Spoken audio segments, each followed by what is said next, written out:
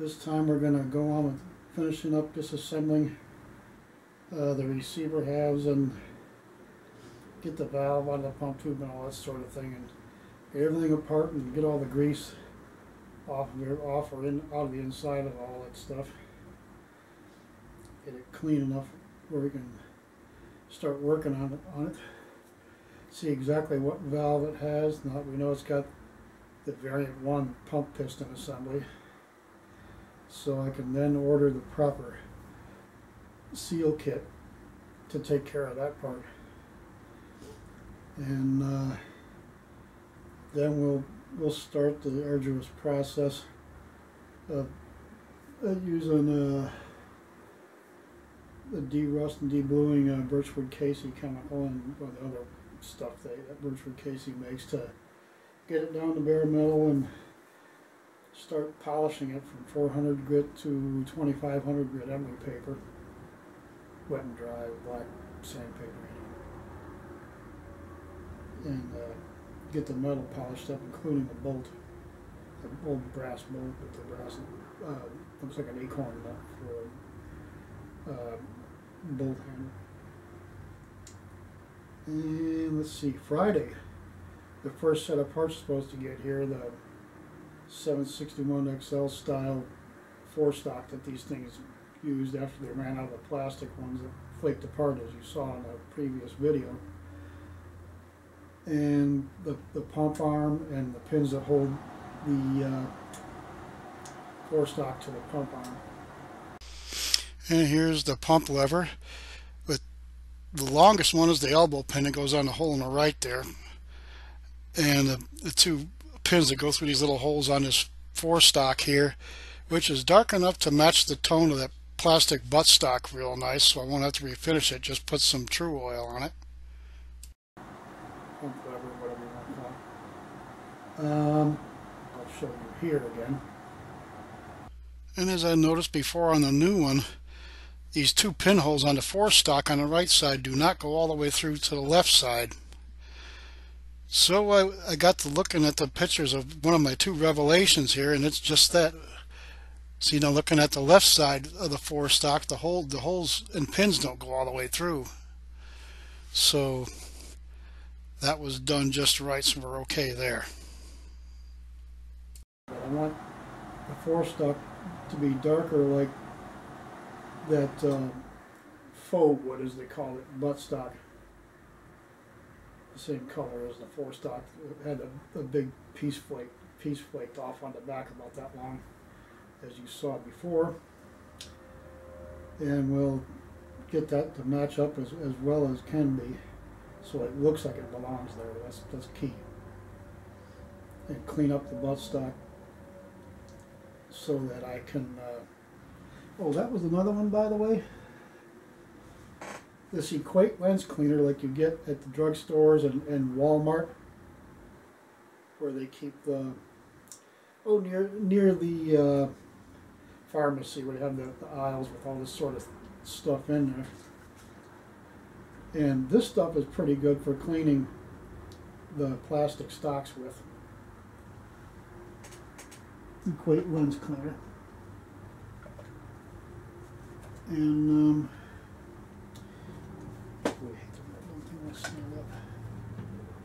Anywho, then I will put some, uh, put one coat, thin coat of Tru-Oil on it and let that dry bit so to seal the surface against losing any more of that oil in the plastic so it won't flake apart in, in theory so that it'll it'll stay in good shape for a lot longer than it would otherwise. We'll see if that how that little experiment experiment pans out once the once the owner gets his rifle back, and that means you, Jeff, and uh, see how it holds up. I'm curious about that one. There's got to be a way to save the, a few rifles that still have the original stocks on it that Variant 2 started out with. And as I said before, there the forestocks had two different checkering patterns. The butt stocks were all the same, regardless. But we'll finish taking this thing apart, take out some more broken screws, and we'll see what we got inside this thing. So let's hit it. Reposition the camera to try to so my shoulder's not blocking your line of sight. Sorry about that. So we're going to try to get these screws, receiver screws out. That one wasn't even that tight. And hope to God that we don't have this thing go fling, pop apart have parts going fling doing all over the place because there is some spring loaded stuff in here.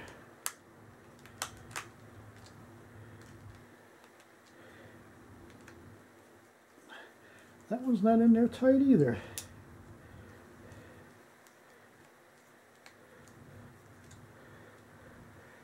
Oh, uh, oh, that one's got a washer on it. That's got a, those old toothed washers on the old school lock washers that had teeth around the inside like a gear. This one doesn't have one. Maybe I should try to find some more of those. And let me get get out the smaller screwdriver a bit here because that that big one is so snug I don't think I can get that back in there.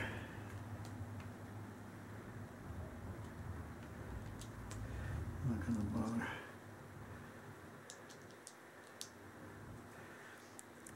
See if that small one there will do it.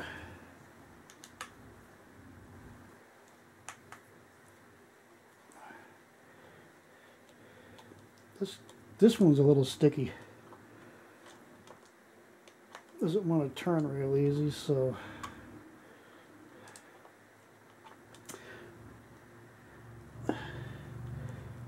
I'm gonna have to make sure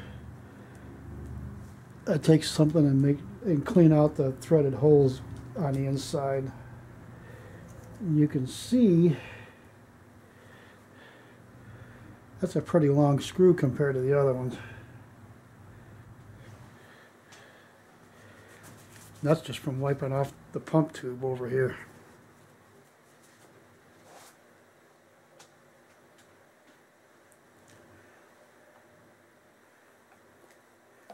Oh, wait a minute.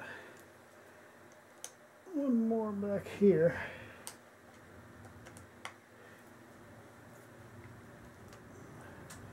This one just had to crack the torque a wee little bit. And it, you know,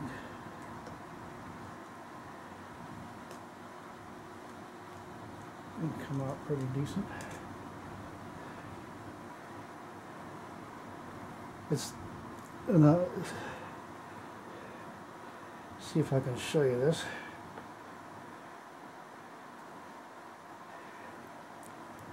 This is the one here that came out of the, the back right side hole right there. This one came out right here. And I don't know, I think this one's a little larger in diameter.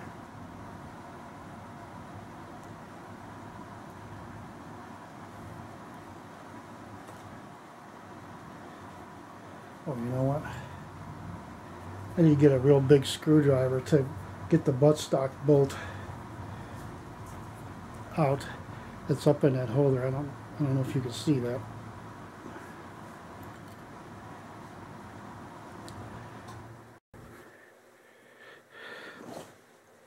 Okay, just ordered this new 20 by 30 table from Walmart yesterday and I got it already with that free delivery. You know, 50 bucks worth of stuff and you get it free anyway.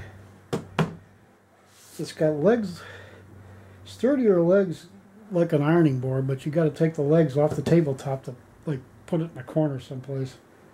So you got to keep taking it apart to do that. That'll wear out the little slots under the bottom where you got to snap it in.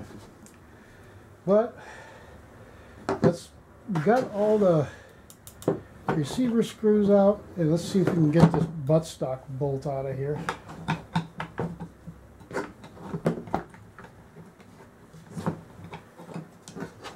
I did.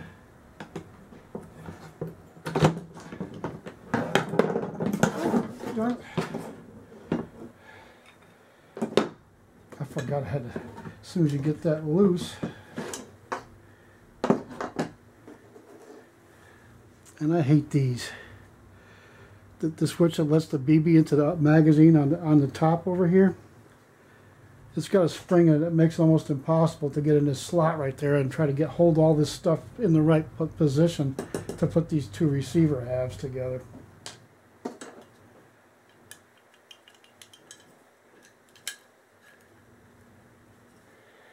There we go, got that. Oops.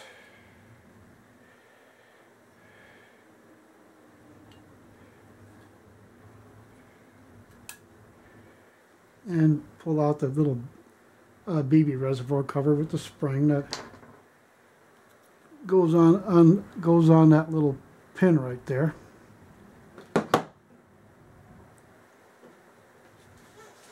I need to get these apart as much as as much as I can so that I can uh,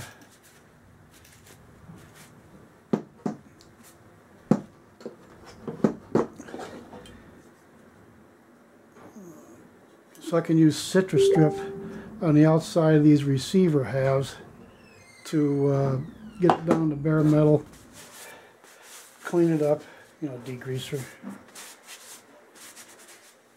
so that it'll look good again with some gloss black Rust-Oleum, that'll be easy enough.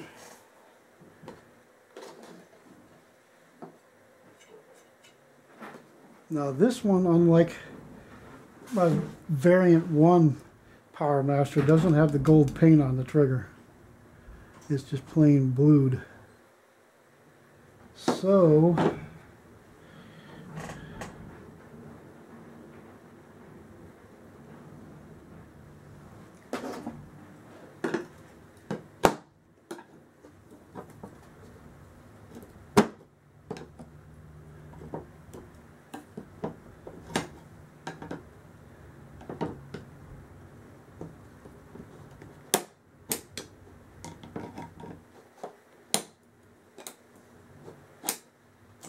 Oh, I can't get that darn thing out of there.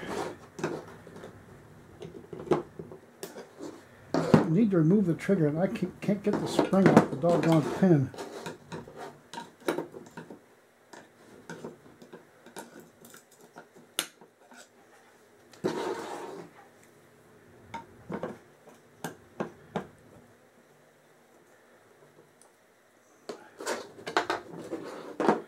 Okay, and there's the safety button. I'm prying on all this stuff. This thing is what holds the tension on this safety button to physically let it work. And spring, shaft, and trigger. Take it apart like that for right now. It doesn't absolutely have to come apart. I just got to be able to clean it. And maybe put some moly, moly lube on the uh, on this to wear the sear surface and on this pin that it rotates on and all of that so I can take some of the what feels like spring tension off the trigger. Take a little bit of effort out of the trigger pull.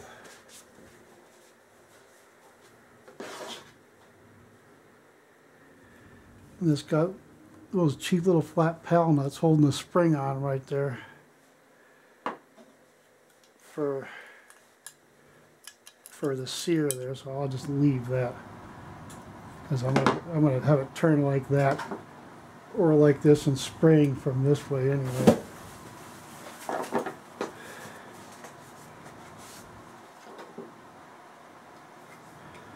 That's pretty heavy, like what is that's solid some sort of early form of urea foam. It's got a lot of this, some kind of oil. I, I know it's an oil, I just don't know which, what kind, mind you.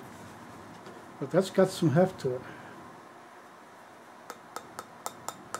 You can hear that that's solid. Okay.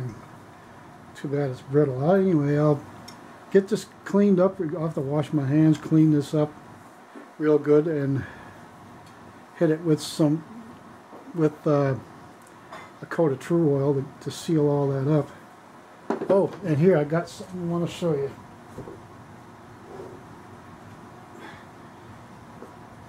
The new uh, pump arm and mounting pins and hinge pin all came in for this uh, 761 XL style uh, forestock I'm replacing the broken one with. Once they ran out of the checkered uh, plastic faux wood uh, forestocks, they started using this one. But it's also medium walnut, and that, that's elm. You can tell that's elmwood because of the grain grain structure. Or, oh yeah, I guess you can call it grain structure, character, whatever. How about that, huh? And once I get some get that cleaned up and get some Tru-Oil on it. Oh, by the way, even on the 761 XLs I have, and I got two on the rack over there, these holes for the pins that go through here into the pump arm so you can physically go like that don't go all the way through on any of them. Never did. You can see kind of in there, and right here, there's little holes where it goes into this part. But I'm to see if I got a drill long enough to drill all the way through because once you put them in, you can't, you ain't got no hole over here to stick through and pound it out. The, put the roll pin punch in here to pound the pin back out again. Okay, so I'm going to fix that.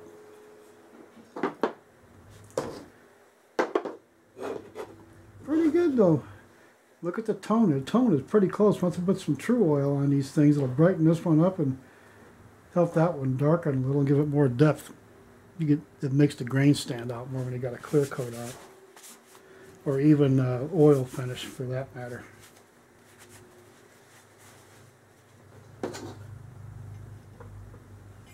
You can see some kind of oily rust here where the oil's break, breaking down and the rust is getting through it, but I'll take care of that. And right here, I don't know if you can see, I'm trying to shine a light on it. It says 760-2. So proving that it's a 760 variant 2. Always nice to see. And of course, when I use the when I use the stripper, I have to use a brush to get in here and make sure that's real clean. And this serial number right here, 042 45077. Somebody replaced the uh, right receiver half with one from a, I'm guessing April 72. 042.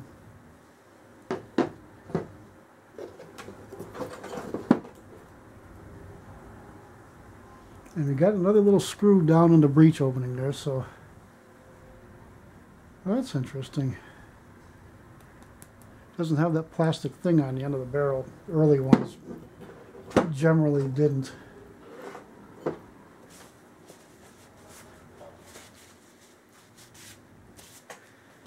And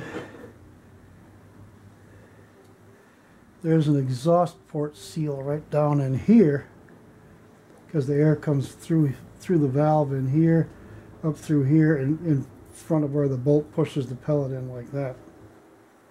Or BB for that matter.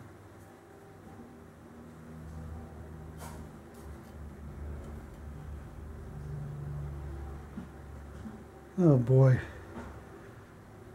the one that's broken is the screw that goes into the valve.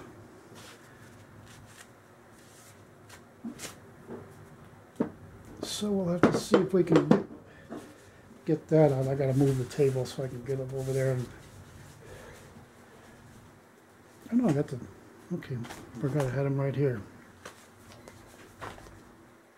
We'll get to that in a minute. Well, I was just had a lot of this black dirty grease on there. It has the same consistency and color as, as when, when Moly Lube gets old from shooting it and everything. It, stuff goes from a primer gray to this, this black. I got this thick black stuff here off the bolt. You can still see where some of it's kind of stained on there. No big deal. I can chemically clean that and polish it with a Dremel and a stainless wire wheel which I am running short of. Somebody used Moly Lube on, on everything. I mean, even even the the barrel band that caps this the end of the pump tube here, the ins, the part that goes in here was coated with with the black dirty Moly Lube. You can see in the center here, there's a magnet there for that grabs the BB when you took from the upper magazine in here to drop through and push it in.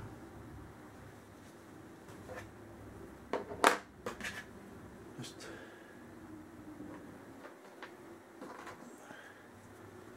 gotta gotta get all these little pieces parts cleaned.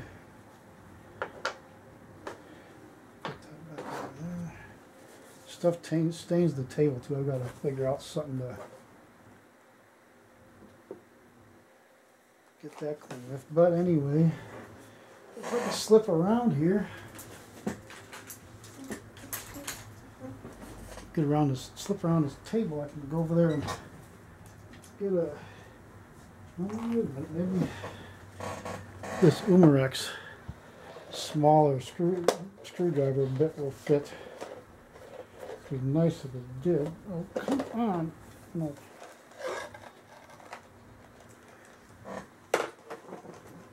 20 minutes trying to stop shaking so I can get this darn thing out of there.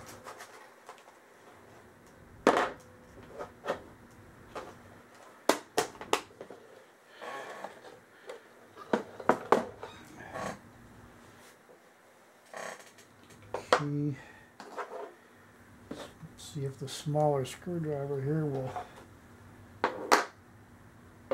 fit nicely. To get, oh wait a minute, gotta get that, I don't know if you can see that little screw in the breech down there.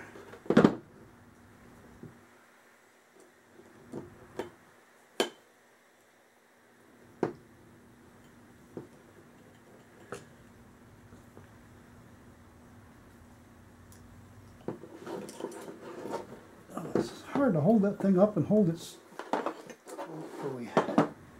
hold it up and hold it steady so I can try to get in here.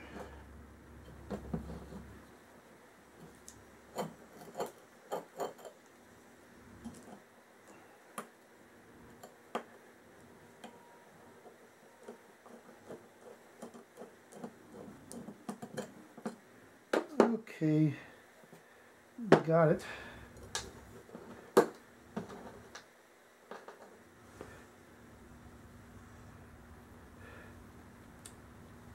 Okay, that's a little screw there, a little breech screw.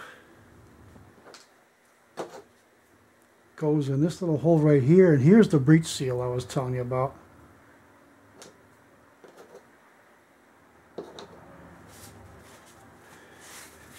A lot of gritty funk under the barrel.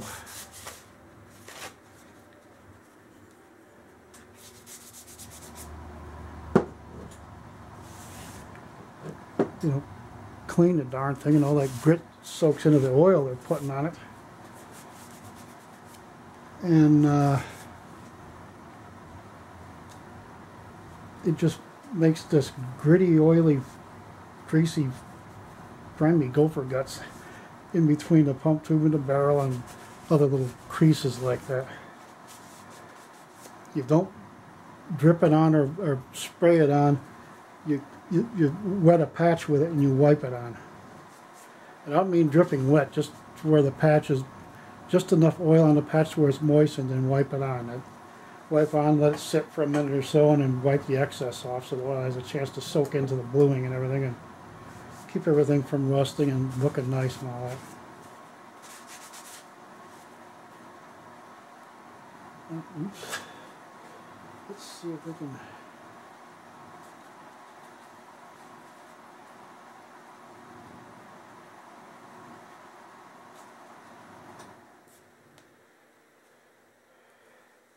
Now this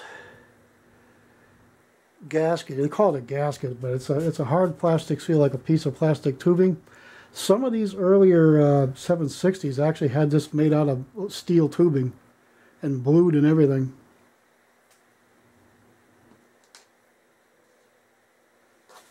That was still in good shape, and the ones you get in the seal kits usually aren't as good as the, the original factory ones. So if that thing is still good, use it.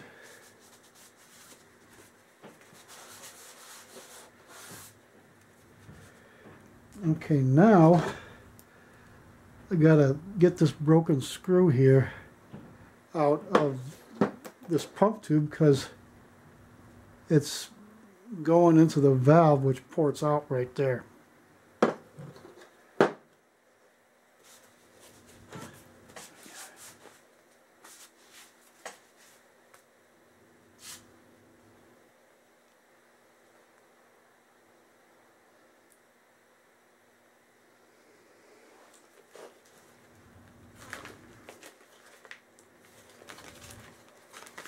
Okay. And I think this calls for bent needle nose again.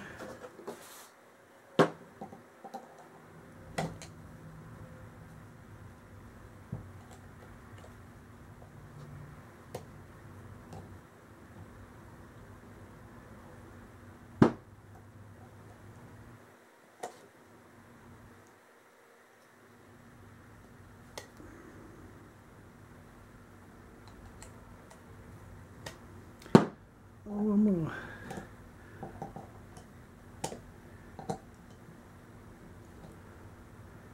I don't think it's coming loose. I can't get the valve out of there and fix it if I can't get that screw out of there.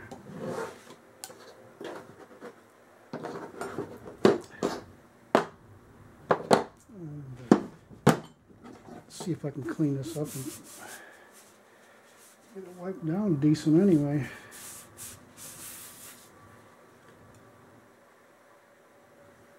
Okay, right here you can see some of the bluing.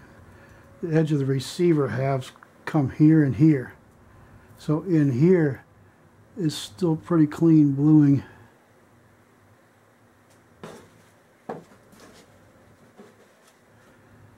And right there is the seat for this gasket here, as they call it.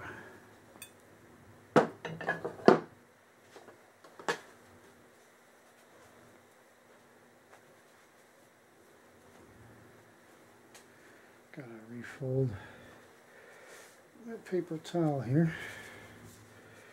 Try to keep clean towel facing out because it'll get on the table too if you're not careful and then you got another mess to clean.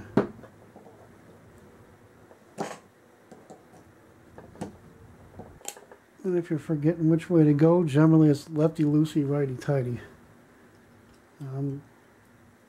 turn it to the left and it's not coming out. That thing is jammed in there. Ain't hardly enough there left there to grab. I think it's cross threaded too. That's that could be a problem.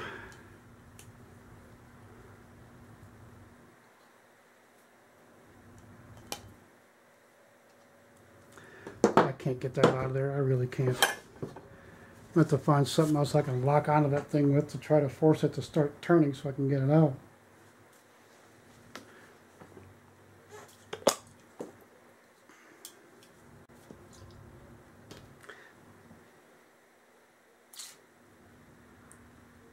the Pro 3 Rem oil there. We'll see if that works.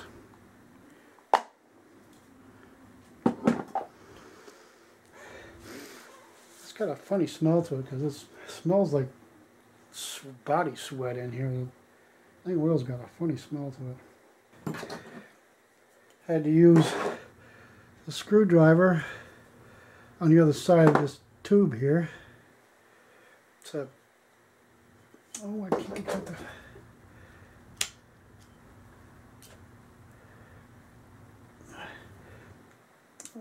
Who in the world has all that that doggone grease all over everything? Jesus, thing is loaded with grease.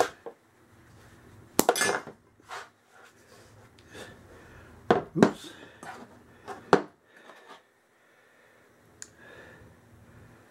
That's a hammer piston and a hammer spring.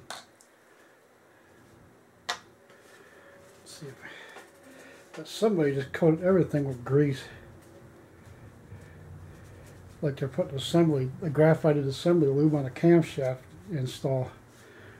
These things don't need to be covered and, and, coated with grease and oil and all kind of stupid shit. All that does is gum up the works. Anyway, there's a screwdriver slot on there. You can use that to help get the thing loose and push it through.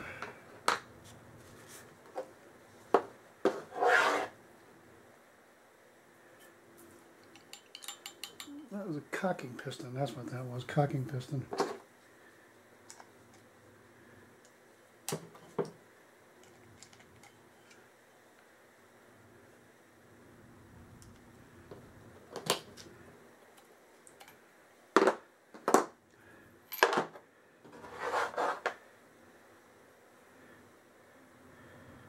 uh, the end end came off the exhaust valve. That was the cocking piston. This is the hammer piston.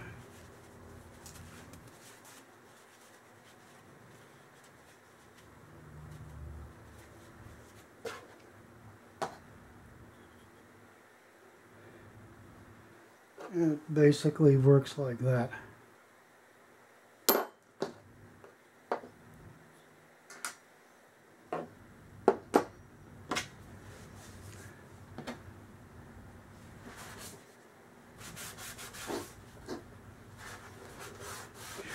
Boy, dang, there's grease all over everything.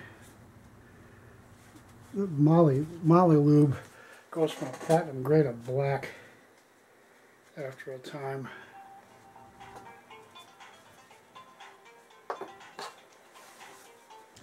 Okay, anyway, I still can't get that screw out. I even tried getting this, these locking, locking crescent wrench on there. I just I can't get that doggone thing to come loose.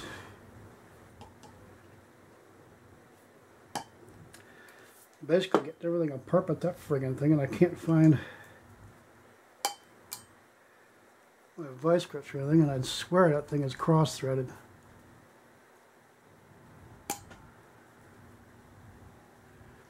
I can tell by that little dimple sticking up right there it's not moving. So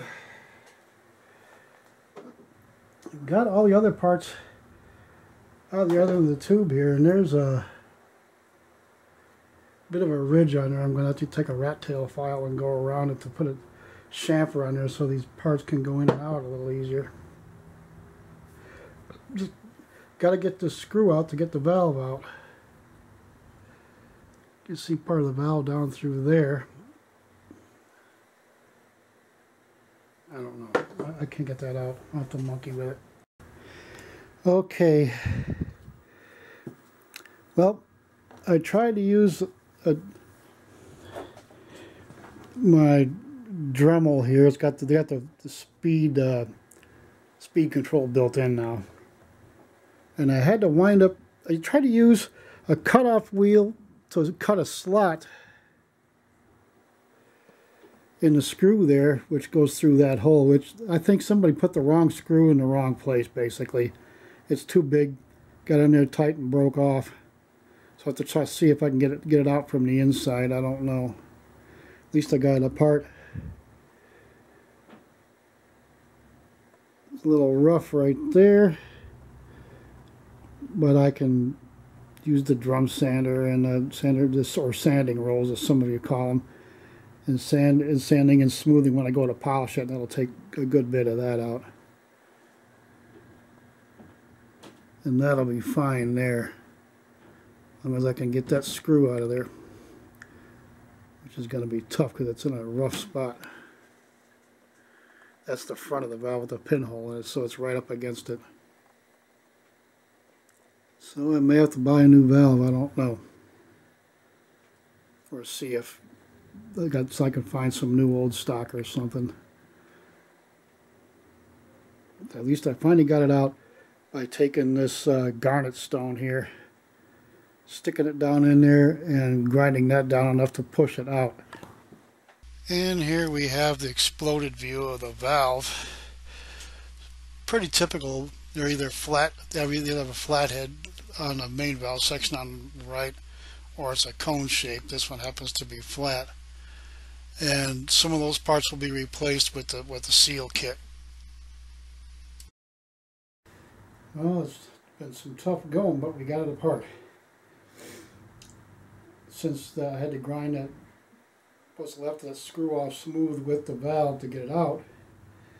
My son's going to take that part of the valve and uh, take it to work. He's a tool setter, so he machine tool setter, so he knows uh, the tool and die man. He's going to have him see if he's got an easy out, small enough to, to, or some other way to use to get the end of that screw out for me.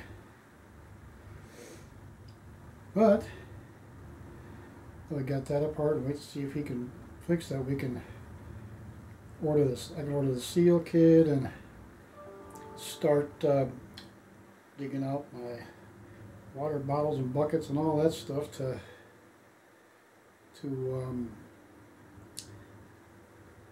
clean the, the metal, like the, the steel parts basically, so I can use the bluing and rust remover and all the rinsing and bluing and all of that. And I got to find a brush I can use for the Citristrip on the on the uh, receiver halves, so I can get the old paint off. Get, get that all cleaned up real nice, and then use some gloss black Rust-Oleum on it to make that look nice and new again. It's gonna look good when I get it done, but who boy is gonna it's killing me getting all these broken screws and stuff, and, and the parts are all that are, are sticky but coated with black grease at the same time, or too much oil, or whatever the hell it was, but it turned black and goopy and nasty. Reminded me of Molly Moly Somebody just messed this thing up. But don't worry, Jeff. We'll uh, get her back together for you and make it like new just a little bit better. A little up, upgrading here and there. And I still haven't found a, another full-length rifle barrel for the early models to put on this thing. I was wishing I could, but firm definite maybe there. And see if I can get one.